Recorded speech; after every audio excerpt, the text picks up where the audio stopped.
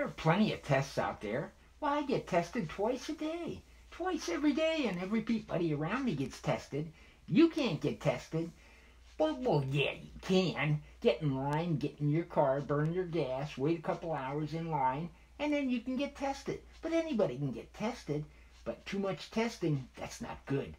No. When you test people, they get sick. Getting tested makes you sick. Didn't you know that? If you get tested, you're guaranteed to get sick from the virus.